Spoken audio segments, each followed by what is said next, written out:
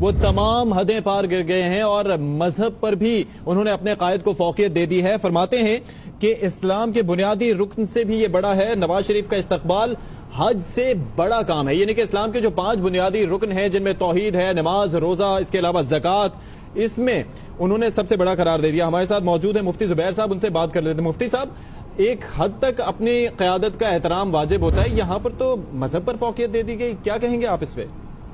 जी हाँ ये बहुत ही खतरनाक और शरान, नाजायज और हराम बात है और शरी एतबार से इसकी कोई गुंजाइश नहीं। मैं राना सनाउल्ला साहब के इस बयान की शदीद मजम्मत करता हूँ और उसूली तौर पर कुरान करीम में अल्लाह ने फरमाया सबीला। अल्लाह के लिए लोगों पर हज बैतुल्ला फ़र्ज़ है।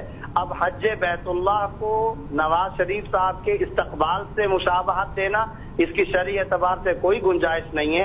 इंतहाई नाजायज और गलत बयान दिया गया है और आपने सही कहा कि इस्लाम के बुनियादी तौर पर पाँच अरकान हैं, जिसमें नमाज़ है, तोहीद का अकीदा है, रोजा है, जक़ात है, हज बैतुल्ला है।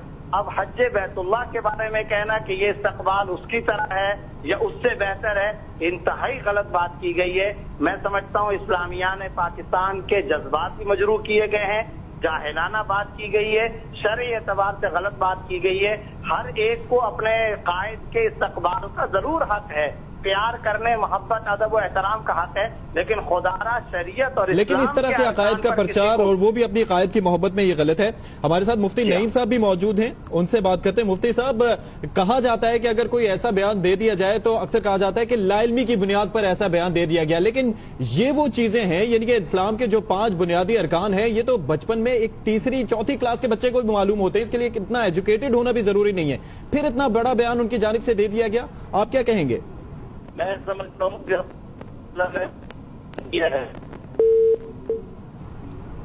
मुफ्ती नईम साहब हमारे साथ मौजूद थे, रबता मुनकता हो गया, दोबारा उनसे रबता करेंगे, लेकिन हमारे साथ आरिफ हमीद भट्टी साहब भी मौजूद हैं, ब्यूरो चीफ लाहौर हैं, उनसे बात कर रहे हैं। भट्टी साहब, इतनी बड़ी बात राना सनाउल्ला साहब ने कह दी है अपने कायद से वफादारी में। अभी तो पिछली जो उनकी जाने से बातें की गई थी, तरमीम वगैरह के हवाले से, अभी तो उस पर ही मामला ठंडा नहीं हुआ। आप क्या कॉमेंट करेंगे?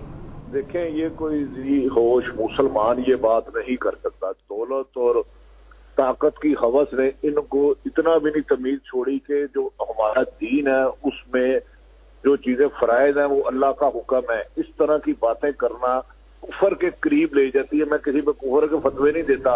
राना सनाउल्ला साहब को देख साहब इंटरप्ट करूँगा आपको। ताकत के हवस में आपने कहा। अब तो ताकत भी नहीं रही।